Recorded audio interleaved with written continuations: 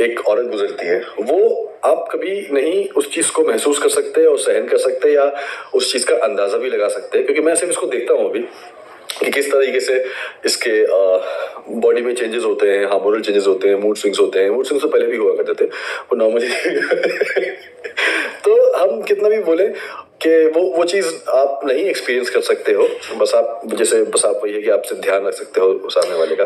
Think the uh, the most beautiful uh, moment that a father experiences are the scans. हाँ हाँ हाँ, हाँ। वो- अभी जब हम लास्ट स्कैन के लिए गए थे ऐसा था ना कि मतलब देख के वो हाँ। ऐसा हो गया था और जब हार्ट बीट सुनाई थी ना डॉक्टर ने स्कैन पे कि आओ सुनो तो थक थक थक थक थक थक थक थक मतलब 160 कुछ समथिंग थी हम्म। ऐसा तो पता नहीं वो एक्सपीरियंस एक्सपीरियंस वो होता है। वो वो सारे so that makes you connect and फिर शो में बहुत पेशेंट है। तो वो uh, अल्लाम कैसे हैं आप? उम्मीद है आप बहुत अच्छे होंगे। आज की वीडियो में आप लोगों को जैसे कि पता है दीपिका इब्राहिम शेख में अपना एक्सपीरियंस बता रहे हैं। अगर आप लोगों को ये वीडियो पसंद आती है तो मेरे चैनल पे आप लोग ज़रूर ज़रूर विज़िट करिएगा। मैं अपने चैनल पे इसी तरह की वीडियोस वगैरह अपलोड करती रहती हूँ।